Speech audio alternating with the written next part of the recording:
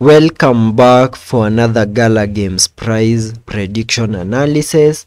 and in this video I will be sharing my next price targets and also give you my breakout targets here on the Gala Games chart.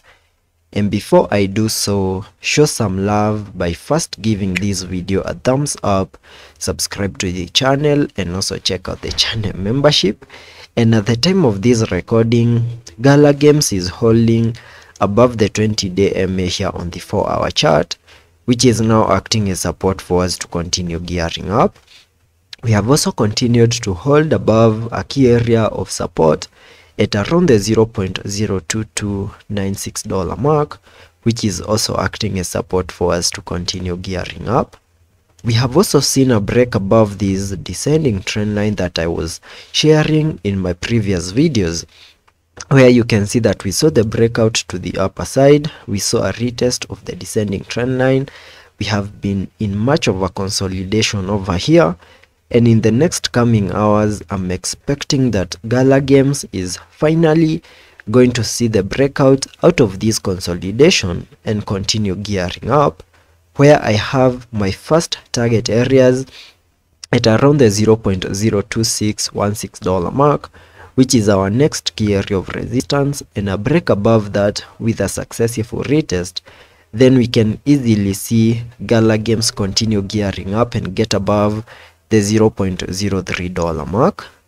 Gala Games has also continued to obey the EDIO12 structures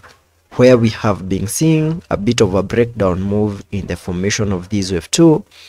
into the minimum retracement area highlighted on the charts using this retarget area which is an area that I came up with using the Fibonacci's.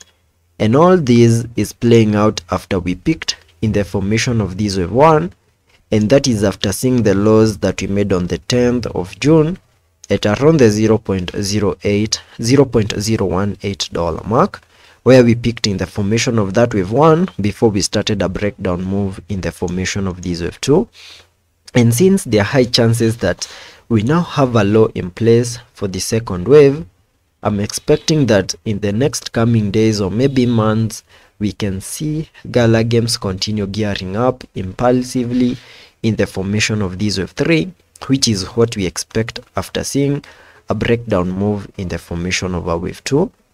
and giving you minimum target areas in the formation of that wave 3 by connecting the trend-based Fibonacci from the low of the first wave to the high of that wave 1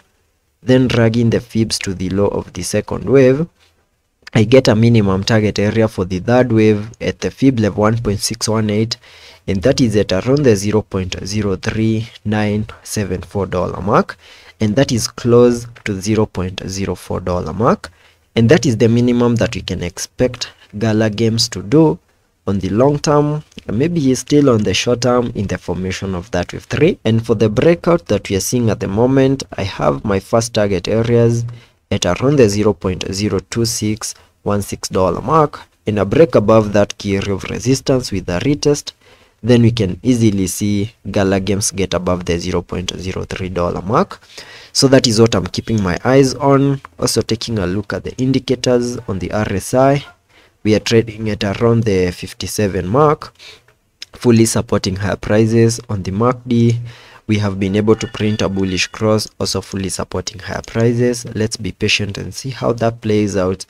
and I will be keeping you up to speed